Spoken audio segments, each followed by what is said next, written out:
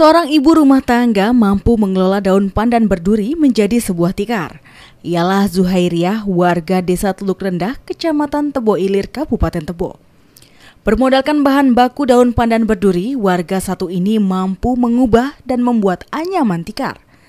Tikar hasil kerajinan tangan tersebut pun digunakan warga sekitar untuk pesta perkawinan maupun penyelenggaraan acara adat lainnya. Pengelolaan pembuatan tikar dari daun pandan berduri ini cukup sulit dilakukan karena pembuatannya tidak menggunakan mesin dan hanya mengandalkan keahlian tangan.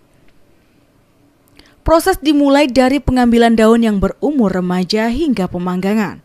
Setelah itu, duri pada daun pandan diambil, kemudian daun pandan kembali dikeringkan menggunakan panas matahari dan didiamkan selama 6 jam. Barulah daun tersebut dilemaskan dan direndam dalam air biasa selama 4 jam. Setelah itu, daun tersebut kembali dijemur di terik matahari. Setelah kering, dilanjutkan dengan menggunakan alat berupa mata cutter yang lebarnya disesuaikan dengan lebar anyaman yang akan dibuat. Kemudian daun-daun pandan dibelah sesuai dengan lebar anyaman. Setelah daun terbelah dalam ukuran yang sama, maka daun pandan siap dianyam sesuai pola. Untuk tikar berwarna, maka dilakukan pengolahan lanjutan. Selain itu, daun pandan ini juga dapat dimodifikasi dengan kain pelapis yang dijahit di bagian tepi tikar. Dua hari sudah. Dua hari. Ayam. Kalau buat tikar? Yang yang ngering kok ha. Sudah dia anu kok. Kok ha, itu rendam kae. Sebagai bengki itu berengalai nyo. Kok kering Nyau nih mulai.